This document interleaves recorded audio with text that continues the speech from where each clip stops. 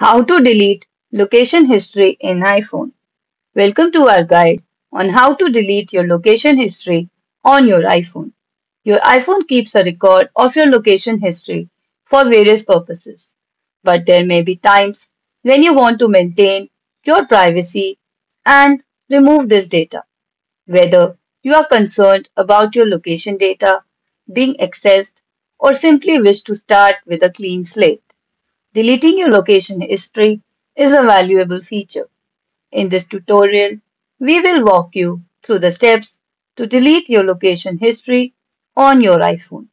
You will learn how to clear your past location data, ensuring that it no longer resides on your device.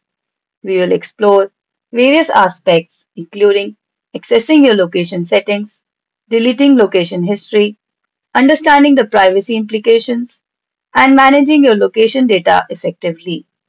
By the end of this guide, you will have the knowledge and tools to confidently delete your location history on your iPhone, providing you with a greater control over your privacy and ensuring your location data remains secure.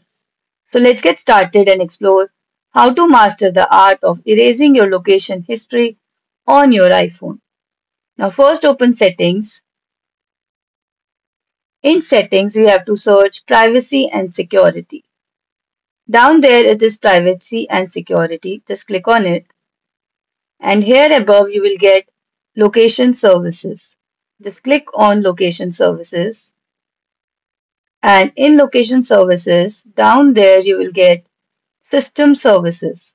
Choose system services in System Services, we have to click on Significant Locations.